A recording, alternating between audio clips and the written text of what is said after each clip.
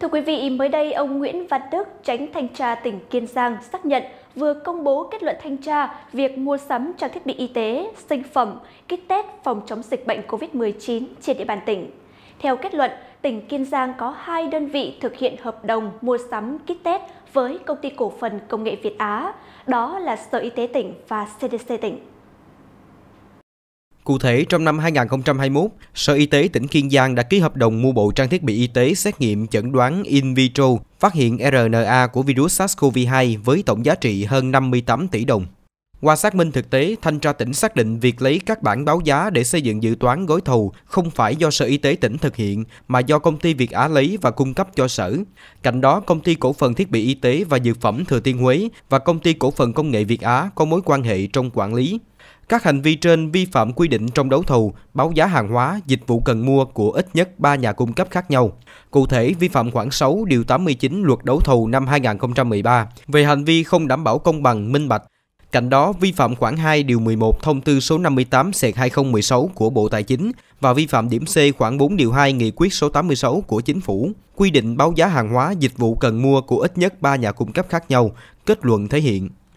Đối với CDC tỉnh Kiên Giang, cơ quan thanh tra ghi nhận đơn vị này có hai hợp đồng mua sắm với công ty Việt Á, tổng số tiền hơn 786 triệu đồng. Qua xác minh hồ sơ hai gói thầu này, thanh tra tỉnh đã phát hiện nhiều sai phạm. Theo đó, dù có ba công ty báo giá, nhưng các bản báo giá đều do công ty Việt Á cung cấp cho CDC.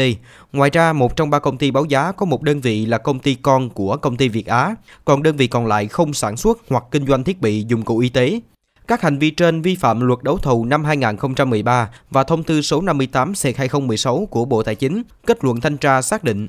Trao đổi với phóng viên, chánh thanh tra tỉnh Kiên Giang cho biết, qua thanh tra dù phát hiện một số thủ tục mua sắm còn chưa đảm bảo theo quy định, nhưng chưa phát hiện tiêu cực riêng tư trong mua sắm kit test với công ty Việt Á. Khi công bố kết luận thanh tra, các đơn vị đều thống nhất với nội dung kết luận. Do chúng tôi đã thực hiện xác minh kỹ nên không xảy ra khiếu nại gì. Ông Nguyễn Văn Trang, Phó Chánh Thanh tra tỉnh, trưởng đoàn thanh tra thông tin thêm. Đối với thông tin trong quá trình thanh tra, một số cá nhân đã nộp lại tiền quà, lãnh đạo thanh tra tỉnh xác nhận không ghi nhận trường hợp nào. Từ kết quả thanh tra, Chánh thanh tra tỉnh Kiên Giang kiến nghị Chủ tịch Ủy ban Nhân dân tỉnh giao Giám đốc Sở Nội vụ tỉnh phối hợp các ngành liên quan tổ chức kiểm điểm có hình thức kỷ luật đối với ông Hà Văn Phúc, Giám đốc Sở Y tế tỉnh do có sai phạm trong quản lý điều hành thuộc trách nhiệm Sở Y tế. Cạnh đó, giao Giám đốc Sở Y tế tỉnh tổ chức kiểm điểm có hình thức kỷ luật đối với ông Kha Vĩnh Xuyên, trưởng phòng kế hoạch tài chính Sở Y tế, do có sai phạm trong công tác tham mưu thực hiện nhiệm vụ. Kiểm điểm nghiêm túc rút kinh nghiệm đối với ông Cao Thành Nam, Giám đốc CDC tỉnh, do có sai sót trong công tác mua sắm và quản lý, sử dụng hàng hóa mua sắm.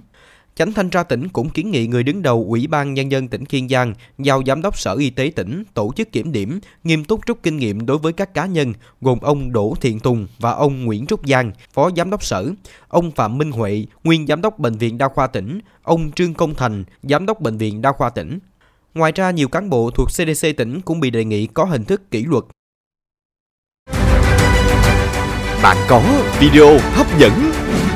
bạn bắt gặp được những khoảnh khắc độc đáo. Hãy gửi về plo a vòng pháp luật tb.vn để nhận ngay quà tặng và nhuận bút hấp dẫn.